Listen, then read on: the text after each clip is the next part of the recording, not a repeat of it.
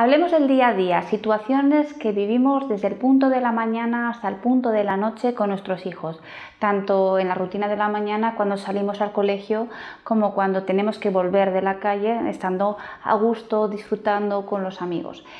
Cuando les damos indicaciones y a lo mejor nuestra propuesta no les gusta, no les interesa, ¿no? eso de volver a casa con lo a gusto que estamos, lo normal es que un niño busque estrategias de distracción. ¿no? Yo no he escuchado, yo no sé nada, conmigo no va la cosa.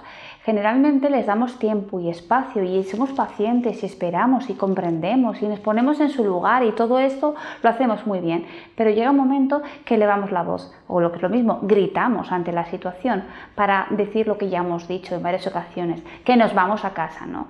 ¿Qué sucede? Que la frase que va a salir a continuación es hasta que no grito, no me haces caso. Y lo siguiente será estoy harta de repetirte lo mismo una y cien veces, ¿no? Parece que no me escuchas y ahí es cuando decimos eres sorda o qué te pasa, ¿no?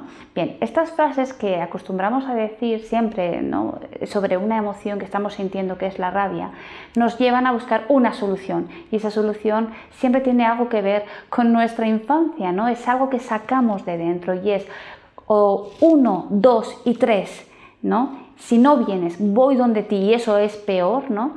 O quizás es porque lo digo yo y punto, ¿no? Cuando el niño pregunta, ¿por qué nos tenemos que ir a casa, ¿no? Si es pronto, ¿no? Claro, a ellos cuando están a gusto no, no, les, no se les no notan que pasa el tiempo, ¿no?